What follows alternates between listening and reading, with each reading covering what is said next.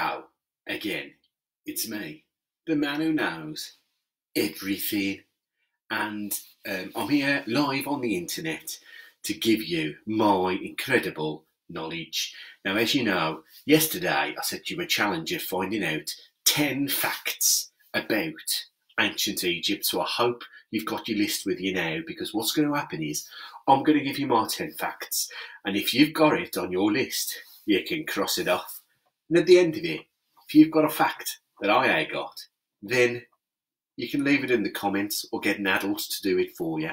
Right. Because then you'll have defeated the knows everything. But I don't think that's going to happen really, is it? Because my brain is massive and I'm going to know all the stuff that you've got on your list anyway. So, are you ready for me 10 facts about ancient Egypt? Well, fact number one the ancient Egyptians had their own alphabet and it was called hieroglyphics, and there were over 700 different hieroglyphs. So that's a bit like a letter. Over 700 different hieroglyphs in the Egyptian alphabet.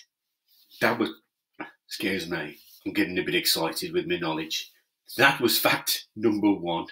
Fact number two, check this off your list because it's bound to be on there, that Egyptian men and women wore makeup and they used to believe it gave them magical powers. Sounds a bit bonkers if you ask me. So they would wear it around their eyes. They would get green makeup from copper. They'd get black makeup from lead. Now, we know nowadays you can get lead poisoning, can't you? So I don't think the Egyptians were as clever as I am. So they used to believe it gave them magical healing powers in their eyes. Then there were other things that Egyptians invented, and this is fact number three. So the ancient Egyptians invented pens, paper called papyrus, cross it off if it's on your list, and they also invented toothpaste. I know, can't believe it. We know this because there were some instructions about toothpaste written on some, some papyrus that people found. now, in around about 2002, there were some people who made this toothpaste, and it was made up of ground up ox hooves and burnt eggshell and ashes from a fire.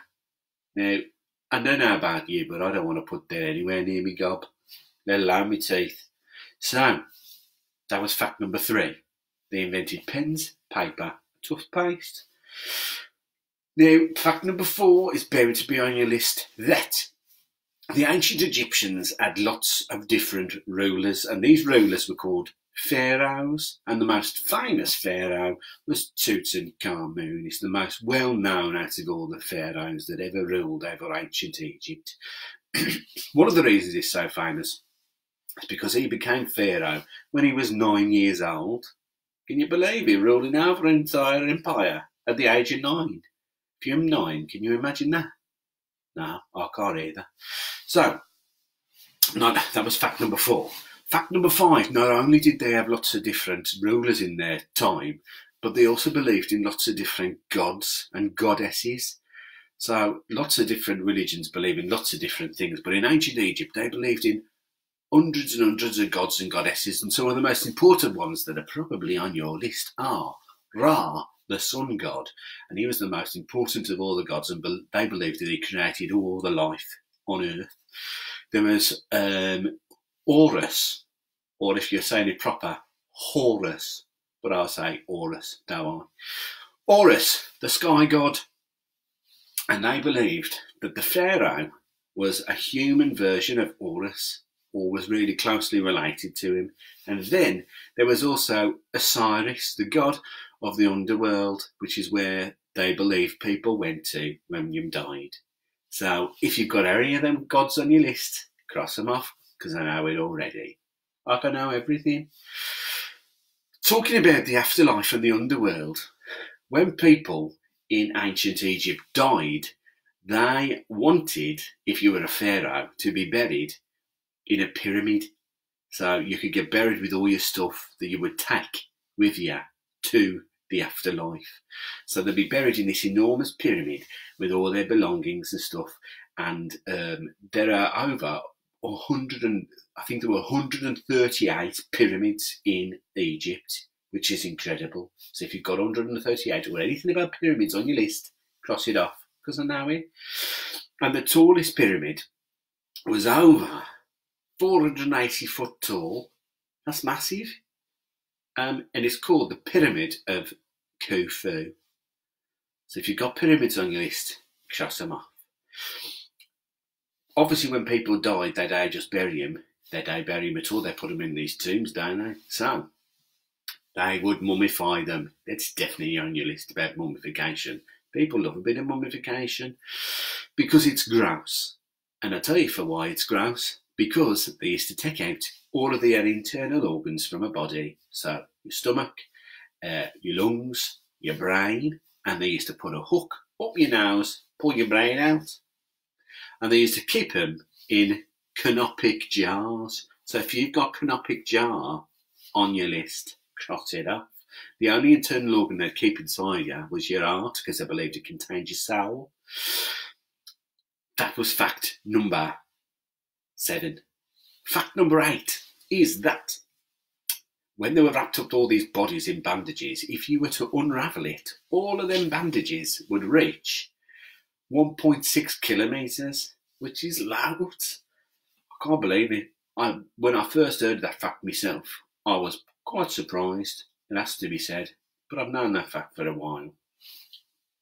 Not only would they be buried with all their stuff, they might also be buried with some of their pets, like cats, because cats were very important in ancient Egyptian times. And this is fact number nine that basically every household pretty much had a pet cat because they were worshipped and they were sacred in ancient Egypt. So they often found mummified cats inside these tombs as well.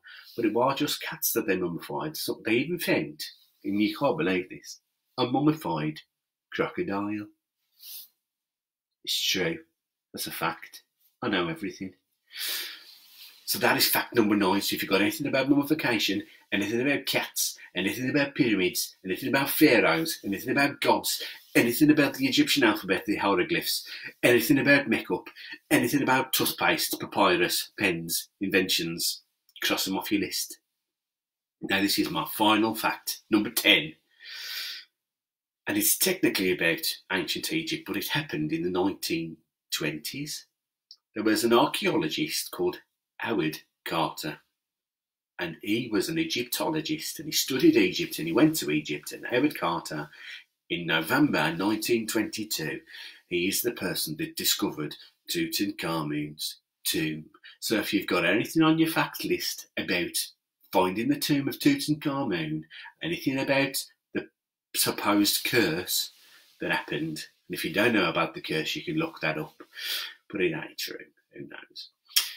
then you can cross it off your list. So there's my 10 facts about ancient Egypt. Check them off against your list. And if you've got a fact that I mentioned, then get an adult to stick it in the comments below. And if you're lucky, I might even mention it tomorrow in tomorrow's video. So that brings me on to tomorrow's topic, which is Tudor England so you've got 24 hours to do a bit of research, have a look in a book, think about it in your brain. You might already have some facts. And then, if you've got an adult with you, you can have a look on the internet and find out 10 facts about Tudor England. Let's see if you can beat me tomorrow. So remember, if you've got a fact that I ain't got about ancient Egypt, ask an adult to stick it in the comments. If you want a topic that you want to suggest, that everyone can research, and stick that in the comments as well and I'll see you tomorrow. Thanks very much. Ta-ra. Bye.